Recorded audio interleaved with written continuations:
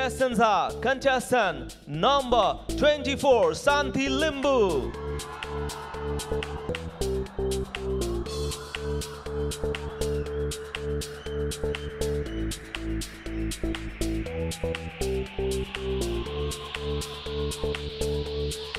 Contestant number 23, Vijaya Kafle.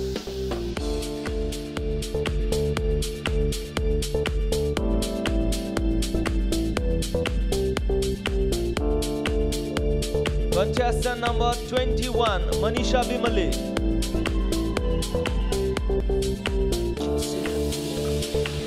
Contestant number 7, Sonu Baral.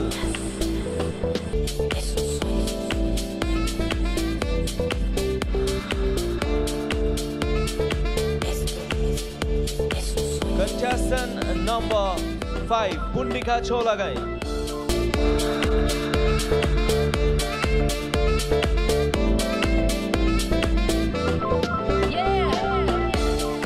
Contestant number 18, Pramila Vandari.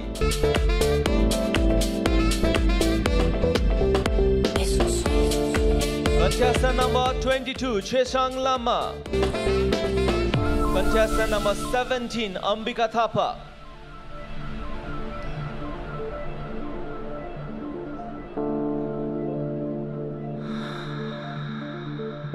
Contestant number 4, Menuka Srasta. Contestant number three, Parvati Khotri.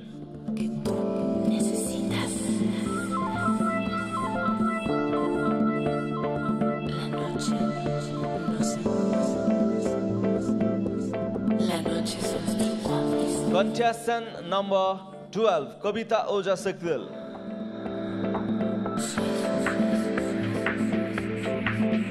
Contestant number 13, Jayanti Gautam.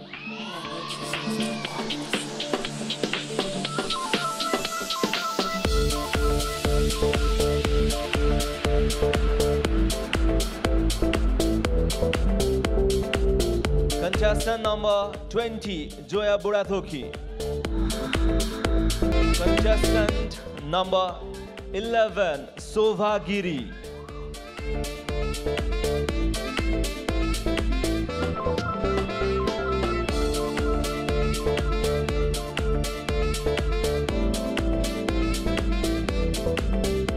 And we have the final name, number 8, Kalpana Acharya. So contestants, अलिकति space राखिदिनु होला number eight Kalpana Acharya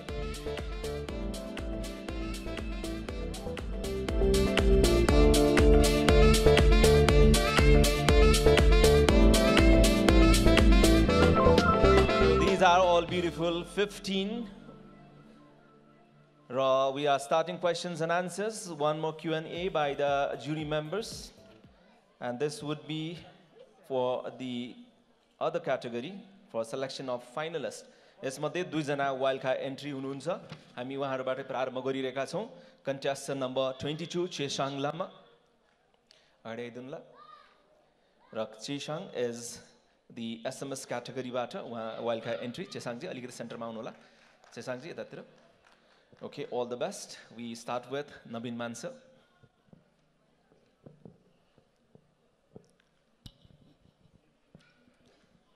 प्रथमतः top फिफ्टिनमा आउनुभएकोमा तपाईँलाई congratulations thank you sir म यो तपाईँलाई हाम्रै जीवनमा पारिवारिक जीवनमा आइपर्ने कुरा सोध्छु। हजुर सर तपाईँको विचारमा विवाह गर्नु आवश्यक छ वा छैन?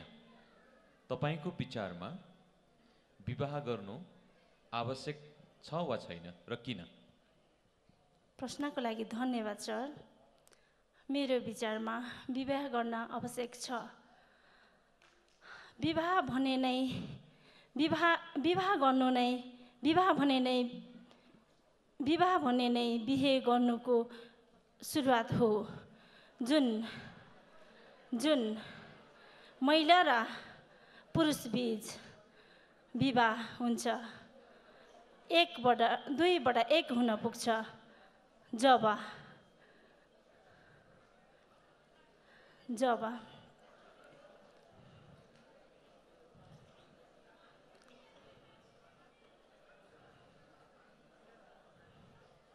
एक आपसमा शारीरिक मानसिक रूपमा एक हुन पुग्छ। संसारको मैमा एउटा एउटा संसारको मैमा एउटा चलाउन एक सफल परिवार जहाँ बच्चाको जन्म हुन्छ त्यहाँ कानुनी नियम र सामाजिक साथ पाउनलाई विवाह जरुरी छ। धन्यवाद sir. Okay, next wild card. This is contestant number 17,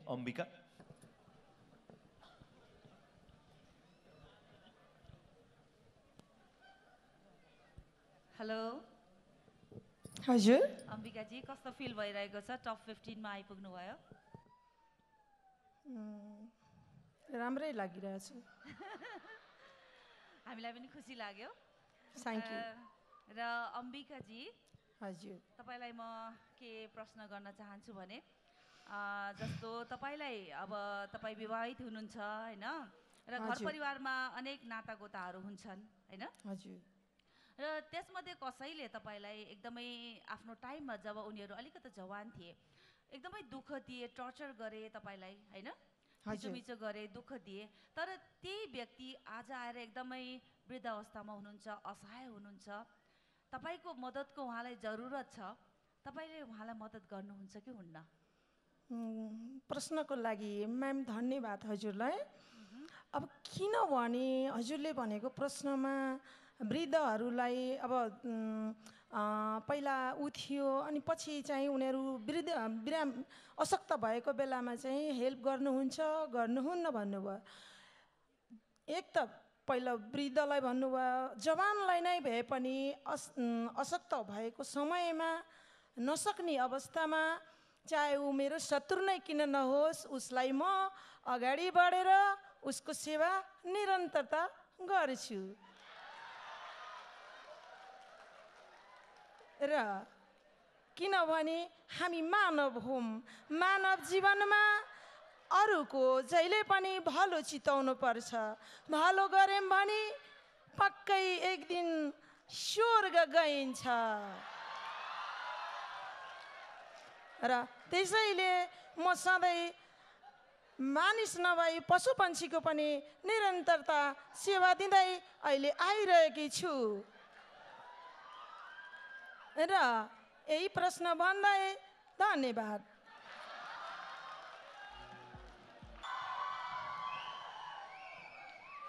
Okay we like to start up with Achyut sir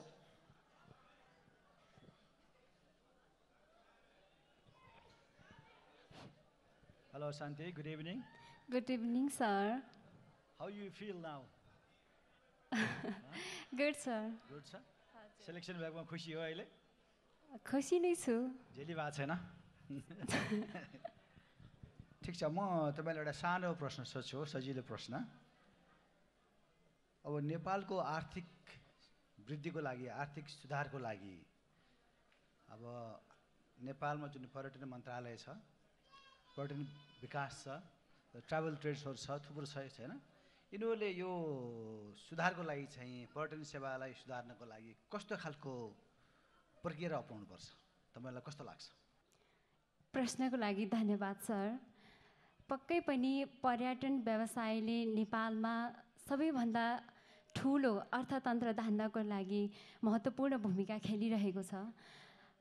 दुई हजार दुई हजार त्रिहत्तर र चौहत्तरकै कुरा गर्ने हो भने पनि पर्यटकहरू नेपालमा करिब पाँचदेखि छ लाख मात्र भित्रिए तर विदेशी मुद्रा सटही गर्दाखेरि पचपन्न अर्ब पैँतालिस करोड चौवन्न लाख सत्र हजार मुद्रा प्राप्त गर्न सफल भएको थियो नेपालले। यसै अर्थमा पनि नेपालले पर्यटन व्यवसायलाई अझ बढी प्रवर्धन गर्ने हो भने नेपालमा पक्कै पनि अर्थतन्त्र धान्नको लागि सहज हुनेछ र यसको लागि हाम्रो देश हिमाल पहाड तराईले भरिएको र प्राकृतिक सौन्दर्यले सुन्दर भएको देश हो। यदि यसलाई हामीले पर्यटकीय क्षेत्रका लागि विभिन्न होमस्टेहरू निर्माण गरेर विभिन्न खानपान विभिन्न वेशभूषाहरूलाई प्रवर्धन गरेर हामीले पर्यटकहरूको लागि केन्द्रबिन्दु बनाएर अगाडि बढ्ने हो भने हाम्रो देशले अझै पनि यो पर्यटन व्यवसायबाट नै धेरै लाभ लिन सक्छ र हाम्रो देशलाई अर्थतन्त्र धान्नको लागि पनि केही हदसम्म सहज हुन जान्छ। धन्यवाद। यसपछि we like to proceed with contestant number 23 Vijayaji congratulation Vijayaji यहाँलाई थ्याङ्क यू म्याम यहाँलाई मेरो प्रश्न छ। बढ्दो महिला हिंसाका घटनाको पछाडिको कारक तत्त्व तपाईँलाई के तपाईँ केलाई मान्नुहुन्छ? हजुर। प्रश्नको लागि धन्यवाद म्याम यो अहिले बढ्दै गरेको महिला हिंसाका पछाडि अशिक्षा जनचेतनाको कमीलाई म प्रमुख समस्या मान्दछु। जसलाई अनि यस्ता शिक्षा र जनचेतना नभएर मानिसको मानसिकतामा परिवर्तन आउन सकेको छैन र मानिसको मानसिकता परिवर्तन गर्न सकेमा मात्र महिला विरुद्ध हुने हिंसाहरू निर्मूल हुन जाँदछ। नभए जतिसुकै महिलालाई अधिकार र हक दिए पनि ती उनीहरू प्राप्त गर्न सफल छैनन्। किनभने मानिसहरू उनीहरूलाई पछाडि तान्न र हिंसा गर्नमा आबद्ध छन्। हो त्यस्ता खालका हिंसाहरू महिला विरुद्ध हुने हिंसाहरूलाई अन्त्य गर्न हरेक घरका परिवारका मान्छेहरूले आफ्ना छोरी चेली र आफ्ना घरमा भएका महिलाहरूलाई शिक्षाको प्रत्याभूति दिनुपर्दछ। नभए कुनै हक अधिकारले मात्र महिलाहरूमा सशक्तिकरणको महत्त्वपूर्ण भूमिका निर्वाह गर्दैन। धन्यवाद। मिला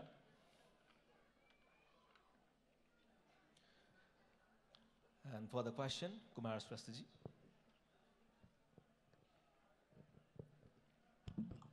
सबैलाई कङ्ग्रेचुलेसन धन्यवाद। तपाईँलाई म यो सानो व्यक्तिगत प्रश्न गर्छु। तपाईँको एजुकेसन लेभल कति छ? BA pass. Okay that's good तपाईँको विचारमा आजको प्रतिस्पर्धात्मक वातावरणमा कस्तो शिक्षाले व्यक्तिलाई बढी व्यावसायिक र प्रतिस्पर्धी बनाउन सक्छ? प्रश्नको लागि धन्यवाद सर। नेपालको परिप्रेक्ष्यमा भन्नुपर्दा हाम्रो शिक्षा अझै पनि प्रयोगात्मक तरिकाले नै अगाडि बढिरहेको छ। कसैले भौतिक सेवा सुविधा दिएर शिक्षा क्षेत्र अगाडि बढाइरहेका छन् र कुनै विद्यालय स्कुल कलेजहरूले राम्रो राम्रो टिचरहरू ल्याएका छन् भने कतिपय कलेजहरूले विदेशी शिक्षालाई यहाँ भित्राउने कोसिस गरिरहेको अवस्था छ र कतिपय अवस्थामा हाम्रै देशमा रहेको स्रोत सम्पदालाई कसरी प्रयोग गर्दै व्यावहारिक शिक्षा लागू गर्न सकिन्छ भनेर व्यावहारिक शिक्षातिर अहिलेको युवा साथै शिक्षाकर्मीहरूको आकर्षण बढ्दै गएको अवस्था छ। म एक कृषि उद्यमी भएको कारणले गर्दा पनि यहाँ यो भन्न चाहन्छु कि नेपाल कृषि प्रधान देश हो। कृषि र पर्यटनमा प्रशस्तै आधारहरू छन्। हाम्रो शिक्षामा पनि यस्ता कृषि र पर्यटनका विषयवस्तु जोडेर कृषि प्रधान देशलाई कृषिमा आधुनिकीकरण गर्दै यहाँ भएका युवाहरूलाई स्वरोजगारमूलक कार्यक्रमका साथै त्यस्ता व्यावहारिक शिक्षा दिन सकेदेखि हामीले दिन प्रतिदिन यो बजारीकरणले गर्दाखेरि हाम्रो जुन जग्गा अहिले सागुरिँदै गएको अवस्था छ हाम्रो यो कृषि प्रधान देशलाई हामी हाम्रो शिक्षामा पनि कृषि क्षेत्रलाई अगाडि बढाउने हो भने कृषि एउटा विकासको मूल आधार पनि हुन सक्दछ र डक्टर इन्जिनियर पाइलट जस्ता टेक्निकल प्राविधिक ज्ञान हासिल गर्ने जुन शिक्षाहरू छ त्यसमा पनि अझ आधुनिकीकरण गर्दै विदेशका केही प सिस्टम तथा पद्धतिहरूलाई भित्राएर यहाँका युवाहरू चाहिँ हामी विदेशमा शिक्षा लिनका लागि जानु पर्ने थिएन प्राविधिक शिक्षाको लागि त्यसको लागि सरकारले पहल गर्न सकेदेखि हाम्रो नेपालको परिप्रेक्ष्यमा वास्तवमा व्यवहारिक शिक्षा नै अहिलेका आवश्यकता ठान्दछु। धन्यवाद। Parvati. खुसी हुनुभएको छ? एकदमै। ठिक छ। म तपाईँलाई एउटा प्रश्न राख्दैछु। हस् सर बाई द वे तपाईँको एकाडेमिक क्वालिफिकेसन बताउनुहुन्छ? अँ, प्रमाणपत्र त प्रमाणपत्र त। Thank you very much if you were a leading social activist of the society are a reputed in a reputed social organization, how could you transform and enrich the society in a given particular time frame? यदि तपाईँ नेतृत्वदायी सामाजिक कार्यकर्ता हुनुहुन्थ्यो भने समाजलाई रूपान्तरण गर्न र समृद्ध तुल्याउन एउटा निश्चित समय अवधिमा कस्तो भूमिका खेल्न सक्नुहुन्थ्यो होला? प्रश्नको लागि धन्यवाद सरलाई। म त यसै पनि नेतृत्व गर्नको लागि अग्रसर लेडी हुँ। म आफूलाई आइरन लेडी भनेर छुट्याउँछु व्यवस्थापन र नेतृत्व गर्न सक्ने क्षमता भएको मान्छे पक्कै पनि समाजसेवी बन्छ। सबैको लोकप्रिय गायिका बन्न यत्तिकै सजिलो छैन समाजमा भइरहेका घटनालाई अन्धधुन्द आफूलाई भित्रदेखि जोस र जाँगरका साथ अन्याय र अत्याचारमा परेका महिला दिदीबहिनी लगायत समाजमा परिआएका आवश्यकताहरू परिपूर्ति गर्नलाई पक्कै पनि एउटा समाजसेवीले गर्छ। महिला सशक्तिकरणबाट जसरी अनुराधा कोइरालाले विश्व हल्लाउन सक्नुभयो त्यस्तै गरी मैले पनि एउटा समाजसेवी भएर सबैको भलो चिताउने र अन्तर्राष्ट्रिय स्तरमै उदाहरणीय महिला बन्नेछु धन्यवाद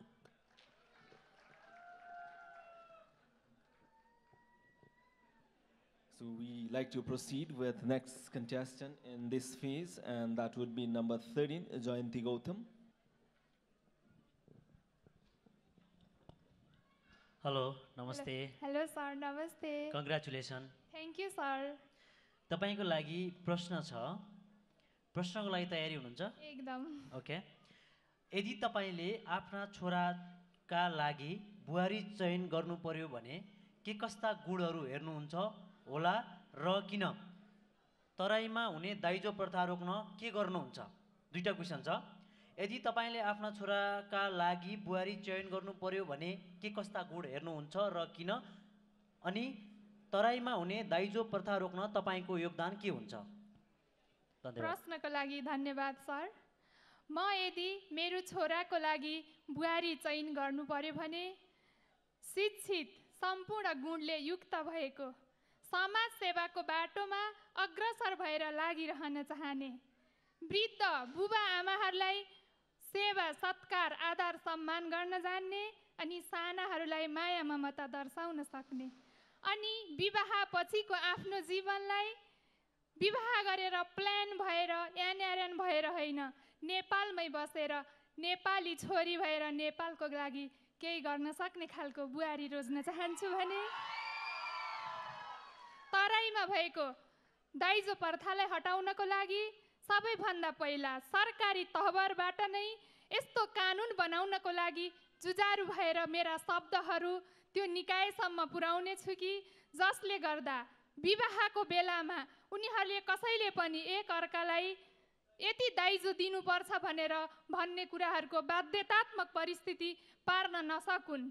यो कुरा कुन घरमा विवाह हुँदैछ कुन ठाउँमा विवाह हुँदैछ भन्ने कुरा गाउँपालिकाहरूमा गएर कुराकानी गरेर त्यहाँबाट नै विवाहमा दाइजो लेनदेन भएको छ कि छैन भन्ने कुरा एक दुईजना व्यक्तिले होइन सरकारी तवरबाट नै गर्नुपर्छ भन्ने लाग्छ। धन्यवाद। 20, जोया बुढाथोकी। र प्रश्नका लागि नवीन मान स्वास्थ्यजी अहिलेको सन्दर्भमा डिभोर्स कसैले चाहिन्छ भन्छ कसैले चाहिँदैन भन्छ होइन? त्यस कारणले डिभोर्सका सकारात्मक पक्षहरू के हुन् र नकारात्मक पक्षहरू के के हुन्? र हालै हालै मुलुकी संहिताले चाहिँ पुरुषलाई पनि डिभोर्सको केस फाइल गर्न अधिकार दिएको छ। यसमा तपाईँको अथवा समग्र नारीहरूको भावना के हुन सक्दछ? प्रश्नको लागि धन्यवाद सर।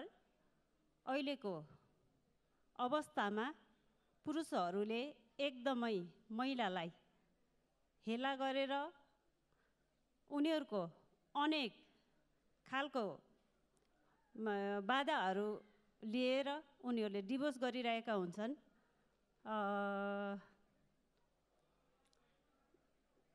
डिभोर्स गरिरहेका छन्। किनभने अहिले इन्टरनेटको जमाना आयो। मान्छे विदेशी स्टाइलले सबै कुरा गर्न सिके विदेशी स्टाइलहरू सिके। त्यो कारणले डिभोर्स गर्न चाहन्छन् धेरै पुरुषहरू। धन्यवाद सर। So getting on for number 11, Soba Giriji. Uh, प्रश्नका लागि जिनु थापाजी। हामी संस्कार भन्ने शब्द धेरै प्रयोग गर्दछौँ अहिले। तपाईँ संस्कारलाई कसरी व्याख्या गर्न रुचाउनुहुन्छ? धन्यवाद सर म्याम। हामी हाम्रो संस्कार संस्कृति सामाजिक परम्परा हामीले निहाल्दै जानुपर्छ।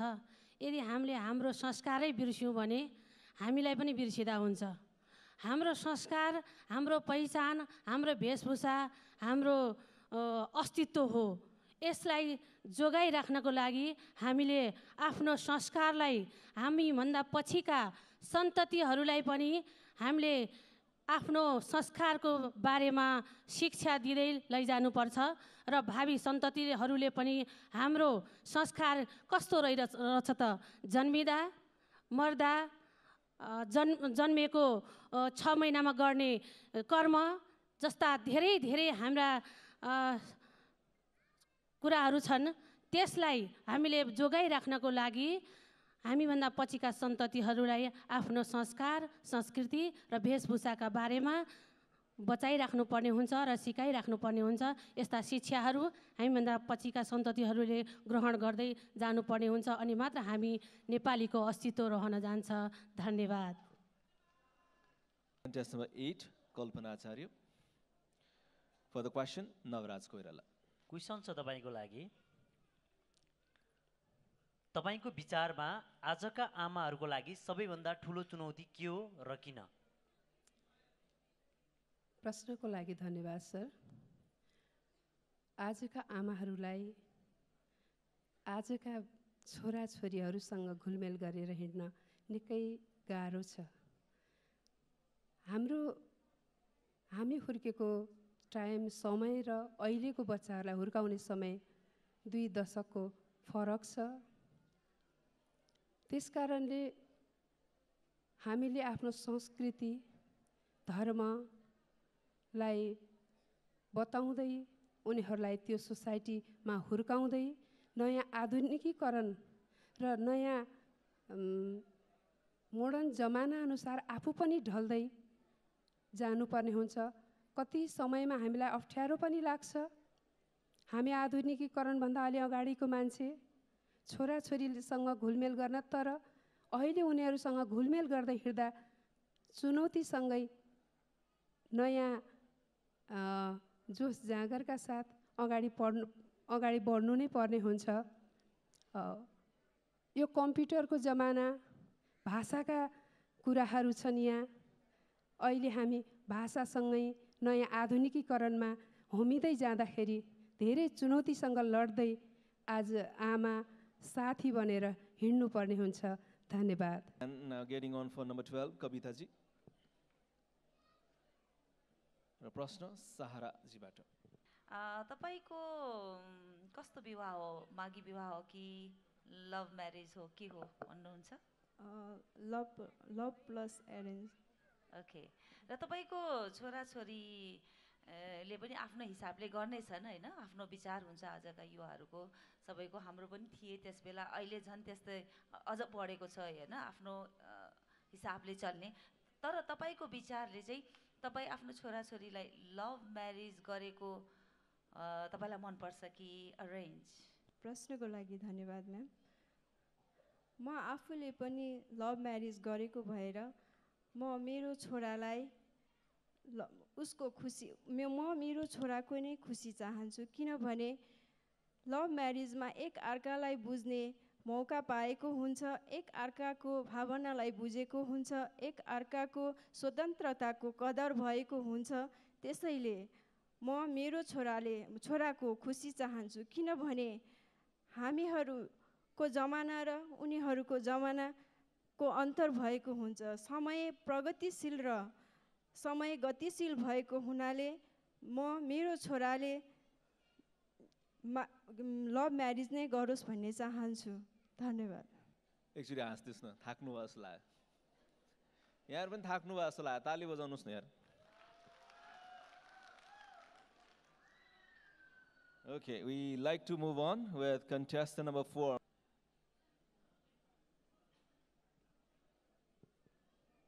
र प्रश्न। कुमार श्रेष्ठजीबाट। यो तपाईँको विचारमा मिसेस ब्युटी क्विन नेपाल जस्तो प्रतियोगिताको महत्त्व के छ? Importance of this event thank you प्रश्नको लागि धन्यवाद सर। यसको महत्त्व धेरै नै छ। आज म यहाँ उभिएको छु। चार दि हामी विवाहपछि चार दिवारभित्र कैद भएका हुन्छौँ। त्यसलाई तोडेर यहाँ उभिनु नै हामी सबै नारीहरूमा एउटा आत्मबल आत्मबल अगाडि आएको छ। यदि यो संसारमा हामी नारी घर चुलो मात्र गरेर बस्ने हो भने देश समाज पक्कै अगाडि बढ्दैन घर मात्र बढिरहेको हुन्छ। त्यसैले म यहाँ छु त्यही नै मेरो लागि महत्त्वपूर्ण छ र हामी सबै नारीहरू अगाडि आउनुपर्छ र आफ्नो आत्मविश्वासलाई अगाडि बढ्दै आउनुपर्ने मेरो विचार छ। यो धेरै महत्त्वपूर्ण कुरा के छ भने यो प्रतियोगिताले हामीलाई एउटा आत्मनिर्भर आत्मविश्वास र समाजमा केही गरौँ भन्ने आँट बोके बोके बोक्न सक्छौँ। त्यसैले यो धेरै महत्त्वपूर्ण छ। यस्तो प्रोग्रामहरू हरेक वर्ष भइरहोस् यही मेरो शुभकामना। धन्यवाद। हरेक वर्ष भएन भने म बेरोजगारै जानेवाला छु। Anyways, uh, contestant, remain with three people we are. Number five, Pundikaji, you are next. How are you fine sir चिसो एकदमै बढिरहेको छ होइन? महसुस भएको छैन सर छैन है? हजुर। अ, म तपाईँलाई यो आरक्षण सम्बन्धी प्रश्न सोध्न चाहन्छु है। हजुर। यो अहिले गणतन्त्र पश्चात महिलाहरूको लागि चाहे त्यो राजनीति किन नहोस् अथवा रोजगारमा पनि किन नहोस् यो आरक्षणको कुराहरू एकदमै आइरहेको छ। तपाईँको विचारमा महिलाहरूको लागि आरक्षण राख्नु उचित छ या छैन? र यसको कारण पनि दिनुहोस् है। हुन्छ। प्रश्नको लागि धन्यवाद सर। महिलाहरूको लागि आरक्षण हुन धेरै नै जरुरी छ। किनभने हामीले जति पनि अहिलेसम्म सुन्दै आइरहेको छौँ महिलाहरूलाई यति कोटा यो ठाउँमा सीमित छ भनेर पत्र पत्रिका हाम्रो यो विभिन्न लोकसेवाहरूमा लोकसेवाहरूमा हाम्रो यो छुट्याइएको हुन्छ। तर जति पनि हाम्रो अहिले पुरुषहरूको तुलनामा महिला एकाउन्न पोइन्ट फोर त्यतिको तुलनामा बढी हुनुहुन्छ। र पनि प्रत्येक ठाउँमा प्रत्येक ठाउँमा हाम्रो लोग्ने मानिसहरू नै बढी देखिन्छ महिलाहरूको तुलनामा पुरुषहरू देखिन्छ। त्यसै कारणले गर्दाखेरि हामी महिलाहरूको लागि पनि आरक्षण कोटा भनेर धेरै नै छुट्याउनुपर्छ जुन छुट्याउनको लागि बोलीमा मात्र सीमित नहुने गरेर लागु हुने गरेर कोटाहरू छुट्याउनुपर्छ त्यस्ता आरक्षणहरू छुट्याइयो भने महिलाहरूले पनि धेरै ठाउँमा गएर धेरै अगाडि बढेर धेरै धेरै चुनौतीपूर्ण कामहरू गर्नलाई सहज हुन्छ। धन्यवाद सर।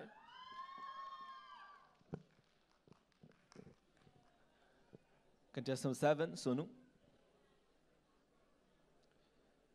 र प्रश्न यहाँलाई अञ्जली खनाल्छुबाट सोनु बरालजी। यहाँको मुस्कान कायमै रहोस्।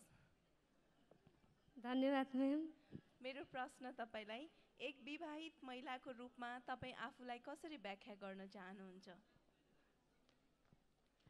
प्रश्नको लागि धन्यवाद म्याम म विवाहित महिलाको व्याख्या कस कसरी गर्न चाहन्छु भने जब हामीहरू विवाहित भइसकेपछि धेरै कुरोहरूमा हाम्रो परिवर्तन आउँदछ। किनभने हिजो हामी छोरी थियौँ आज हामी बुहारी हुन्छौँ र भोलि हामी आमा हुन्छौँ र एउटा घर समाज राष्ट्रलाई टेवा पुर्याउने काम गर्न सक्दछौँ र हाम्रा जीवनसा आफ्ना जीवनसाथीहरूले हामी विवाहित भएपछि एक्लै गर्ने निर्णय र जीवनसाथीको सहयोग फ्यामिलीको सहयोगमा गर्ने निर्णय राम्रो हुन सक्छ भन्ने लाग्दछ। धन्यवाद। And finally, we have Manisha, number 21. Uh, uh, यो राउन्डको अन्तिम प्रश्न अच्युत सर यहाँबाट। म तपाईँलाई अहिले सानो फेरि त्यस्तै अहिले नेपालको परिप्रेक्ष्यमा भएको क्वेसन सोध्छु। त्यस्तो त्यस्तो त होइन होइन? How it is important about the politics whether you have to know or not तपाईँ नेपाली नागरिक भएर यहाँको राजनीति विषयमा तपाईँलाई चेतना हुनुपर्छ कि पर्दैन? चेतना हुनुपर्ने भयो भने के कारणले हुनुपर्छ र त्यसको आवश्यकता छैन भने किन हुनु हुँदैन यसलाई प्रश्न पारिदिनुहुन्छ कि? धन्यवाद सर प्रश्नको लागि। राजदूत मात्रै होइन देशका हरेक नागरिकलाई राजनीतिक चेतना हुनु आवश्यक छ। राजनीतिक चेतना नभएको मान्छे एउटा कुहिरोको काग जस्तो हुन्छ। किनभने देशको नीति निर्माण कसरी गर्ने यहाँका कार्यहरू कसरी सञ्चालन गर्ने कानुन कसरी बनाउने भइरहेका कानुनहरूलाई कसरी परिमार्जित गर्ने भन्ने कुरा एउटा राजनीतिज्ञ भएर एउटा नागरिकले जान्नुपर्ने आवश्यकता देखिन्छ। त्यस्तै परराष्ट्रसँग सम्बन्धहरू कस्तो स्थापित गर्ने? र देशका गतिविधिहरूलाई कसरी सञ्चालन गर्ने देश विकास कसरी गर्ने देशको आर्थिक पाटोहरूलाई कसरी जोड्ने हरेक कुराहरू राजनीतिज्ञबाटै राजनीतिबाट नै आउने हुँदा देशको सम्पूर्ण चिज नीति बनाउने काम राजनीतिले गर्ने हुँदा हरेक नागरिकले राजनीति बुझ्नु जरुरी छ र एउटा राजदूत भएर आउँदा झन् उसले त त्यहाँको सम्पूर्ण नीति निर्माण र त्यहाँ सञ्चालन गर्ने व्यवस्था बुझ्नु जरुरी भएकोले गर्दा एउटा राजनीतिक मैले र सम्पूर्ण नागरिकले बुझ्नु जरुरी छ। धन्यवाद। This is the end of brainstorming phase. And we have one more round on this, but that would be a written. But right now, we take a break, and this would be entertainment.